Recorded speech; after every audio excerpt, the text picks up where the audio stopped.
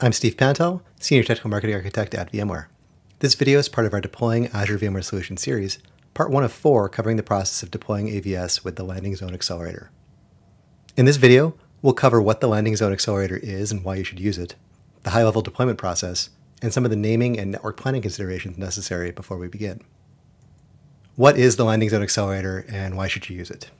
Well, the standard way of deploying Azure VMware Solution is going right through the Azure portal, searching for the Azure VMware Solution service, clicking Create, and stepping through the wizard.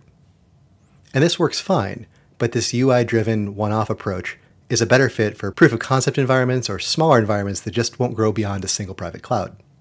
For larger environments, enterprise scale environments, where you may need to stamp out many AVS private clouds and connect into complex network topologies, Microsoft has developed a cloud adoption framework for Azure meant to provide proven guidance and reference practices to drive successful adoption at scale. Part of this cloud adoption framework is the concept of Azure Landing Zone architectures, blueprints that support common customer journeys and follow key design principles across eight key design areas billing and tenancy, identity and access management, network topology and connectivity, resource organization, security, management, governance, and platform automation or DevOps. The Landing Zone Accelerator for Azure VMware Solution is a collection of templates, design guidelines, and reference implementations aligned to the Cloud Adoption Framework. Using the Landing Zone Accelerator supports deployment consistency at scale through automation. We will use the Landing Zone Accelerator to deploy an Azure VMware Solution environment that looks like this. We'll deploy into the West US region, creating separate resource groups for networking, break glass administration, the private cloud object, and operational dashboards. This environment will be connected to our on-premises data center via ExpressRoute Global Reach using an existing ExpressRoute connection. When we use these templates for deployment, we'll need to make some decisions up front about resource naming. We'll select a prefix that will be used to generate names for the deployed resources. We'll also need to apply an address space. We'll need a slash 22 block to assign to the AVS private cloud.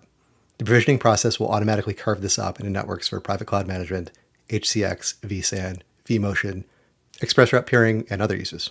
We'll need a VNet to connect AVS into, and we'll be deploying a new VNet, so we'll need new IP space assigned to it. We'll also need to create a subnet called Gateway Subnet that'll be used to host the virtual network gateway that'll connect to the AVS ExpressRoute. We'll be deploying Azure Bastion and a Jumpbox VM to do break glass administration, so we'll also need a subnet for the Azure Bastion service. In the next two videos, we'll cover registering the resource provider and requesting host quota.